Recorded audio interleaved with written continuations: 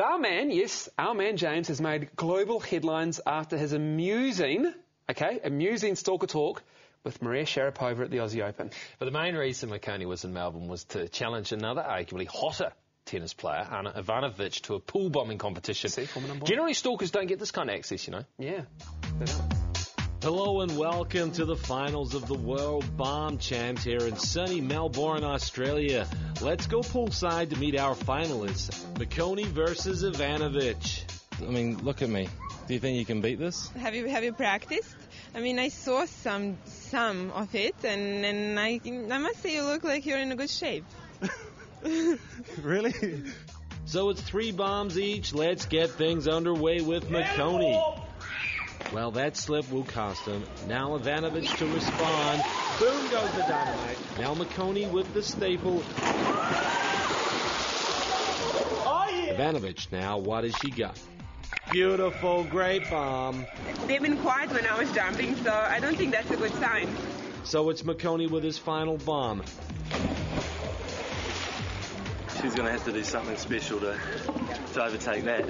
Everyone knows it. Do I get the, to see my coach now? On-court coaching? push down, push out, let that water go up.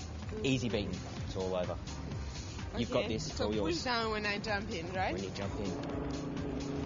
Oh, I don't know if that will be enough. And McOnie has bombed Ivanovic in celebration.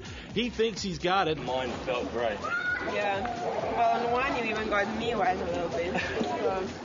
So. The highest amount of points was uh, technically awarded to James.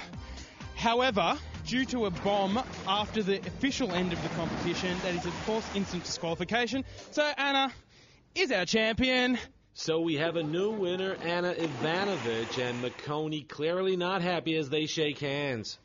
Never bomb after. You know the rules. Okay, congratulations. Well done. Um, how are you feeling?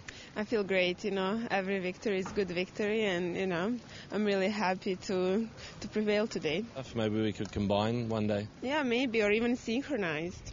Mm, that would be a challenge. Okay, and um, can I ask you about tennis? No. okay.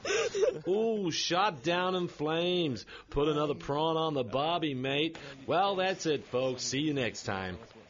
Uh, the, the figure four, the honey pot or the staple, what's the best bomb? What's the honeypot? the honey pot is just, you know, tucked in Oh, you, knees going you do straight the, you in. do the cheeky tuck. yeah, the cheeky Like tuck. the drop peanut M&M, that's what I like to call it. Oh, is that what it's called? well, it's kind of awkward shaped and it doesn't, doesn't, it bounces funny. yeah. Um, the other thing as well is that next year at the World Bomb Champs, um, I'd like to see um, Cowboys clean the edge to get the run up because the run up obviously she had to she had to watch her step there and James of course had to watch their step because people can slip. Ideally, you want a springboard there or something like that, don't you? So you can actually get a little bit of height. Uh, by the way, feel better about the Australian Open because Lleyton Hewitt's gone. Yeah, Really. he is. Now Bandian. Yeah, him. well done. Got him in five. Ivanovic out last night. Serve Shonky. Really? She, she lost. Um, Oh, it's the, well, it's, the, it's the first week, isn't it? I mean, I start taking interest in the second week.